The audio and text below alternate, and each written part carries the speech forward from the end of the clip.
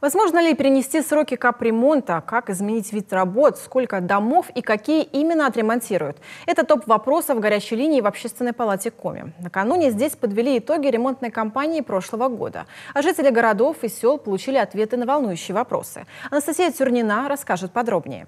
Первый звонок от Валентины Шмаковой из Емвы. Осенью в ее доме был произведен капремонт выгребных ям. Обещали поставить так называемые септики, но вместо них бетонные кольца, которые моментально заполняются водой. При устройстве котлована в одной из квартир произошло обрушение фундамента и полов, говорит Валентина Шмакова. Регоператор отвечает, почти во всех домах Нижпогостского района есть проблемы. Это грунтовые воды и сами дома, которые не рассчитаны на большое водопотребление. При проведении капитального ремонта, если даже септики поставить у вас, а, и чтобы было в свое, в свое, время, в свое время согласовано с а, проектной организацией, была осуществлена замена на, на кольца.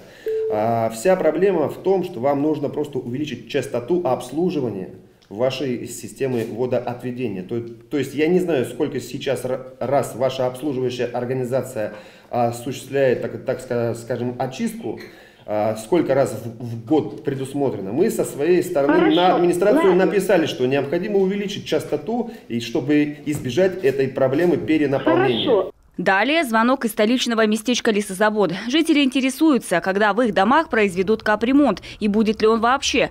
Полный список жилфонда с указанием сроков размещен на сайте регионального оператора по капремонту. Есть много критериев, по которым дом включается в программу. И собираемость по дому, она бы должна быть как минимум не ниже средней по муниципалитету.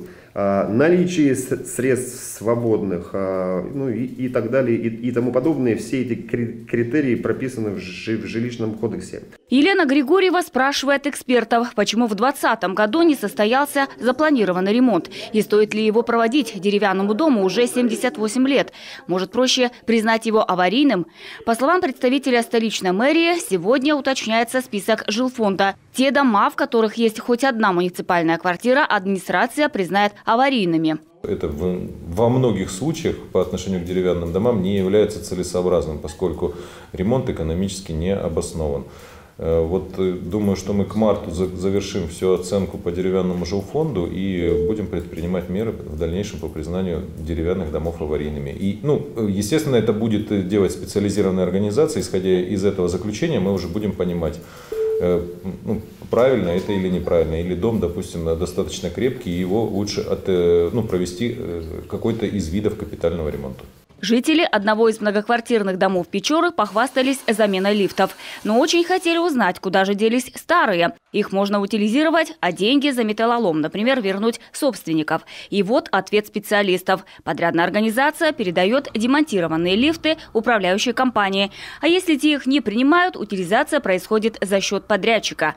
Как отметили эксперты, тема капитального ремонта в Коме обсуждается уже не так активно.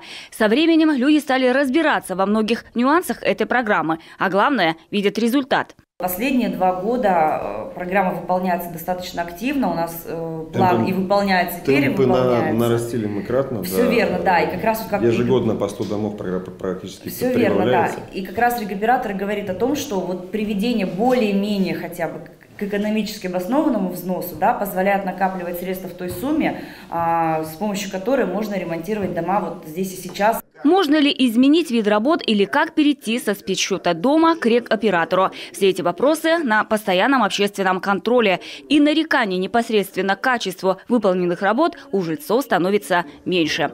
Анастасия Тюрина, Олег Костромин, телеканал «Юрган».